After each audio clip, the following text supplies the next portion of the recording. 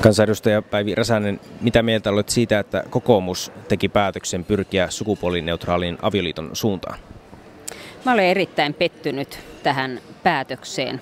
Ja tämä kertoo kyllä siitä, että kun kokoomus joskus muinoin ää, käytti slogania koti, uskonto ja isänmaa, jota se ei tosin ole viime vuosina enää edes käyttänyt, niin kyllä tältä pohjalta ja perustalta on nyt aivan perusteellisesti irtaannuttu.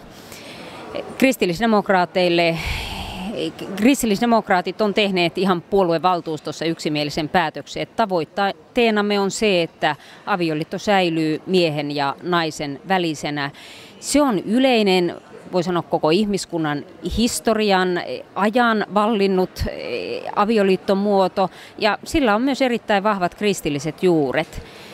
Jos kokoomus nyt saa ajettua tämän sukupuolineutraali avioliittolain läpi, niin se merkitsee erittäin suurta painetta kirkoille, koska kirkot joutuvat siihen paineeseen, että täytyykö heidän täysin omien arvojensa, täysin oman opetuksensa vastaisesti ryhtyä vihkimään samaa sukupuolta olevia pareja. Tällaiseen paineeseen Ruotsissa kirkot joutuivat ja sen paineen alla taipuivat.